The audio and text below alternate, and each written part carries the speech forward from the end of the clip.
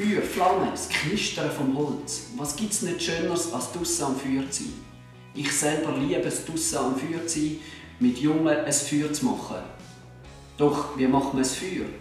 Genau, ich habe hier so Zündhölzchen dabei und jetzt werden wir das Feuer anzünden.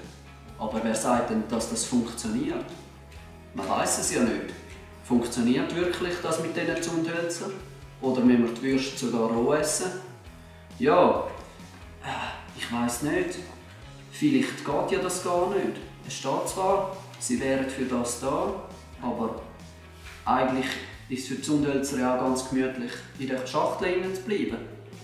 Ja, und wie finde ich jetzt heraus, ob das wirklich funktioniert? Vielleicht ist das Zündhölzchen nachher nicht mehr gleich wie vorher. Ah, ich könnte vielleicht schauen bei anderen, ob das funktioniert hat oder nicht. Oder ja, vielleicht müsste ich es einfach ausprobieren. Vielleicht passiert etwas ganz Neues mit dem Zündhölz, mit dem Zündhölzli. Ja gut, aber eigentlich ist sie ja eigentlich auch ganz schön in der Schachtel. Dann gehen die Zündhölzli nicht kaputt. Okay, wir probieren es mal aus, ob das wirklich funktioniert mit diesen Zündhölzli. Ja, soll ich jetzt oder soll ich nicht? Ich weiß nicht recht.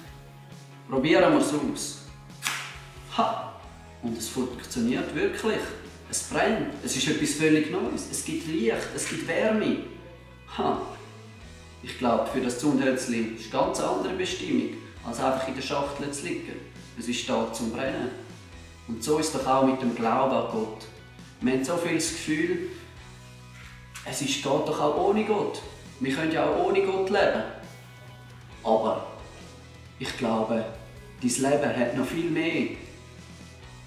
Es gibt eine Bestimmung für dein Leben. Gott will mit dir eine Beziehung haben. Und es ist etwas ganz Neues möglich. In der Bibel, im Römer 8, Vers 16 steht, der Geist selbst gibt unserem Geist die Bestätigung, dass wir Kinder Gottes sind. Das heißt, wenn wir an Jesus glauben und ihn aufnehmen, können wir Kinder von Gott sein und kommen dem Geist über, wo etwas ganz Neues ist, etwas, wo brennt, etwas, wo uns unserem Herzen wirkt.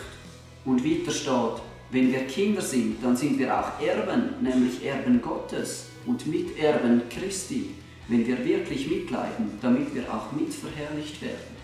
Also wir sind sogar Erben. Wir können von Gott, vom allergrößten Gott, können wir erben und wir werden sogar einmal im Himmel mitverherrlicht. Also wir können mal in Herrlichkeit mit Gott leben. Es kann auch sein, dass wir leiden müssen, wie das Zundhölzchen nicht mehr gleich aussieht. Aber es hat brennt, es hat seine Bestimmung gefunden und es hat anderen Licht und Wärme weitergegeben. Was willst du machen mit deinem Leben? Bleibst du in der Schachtel oder willst du brennen?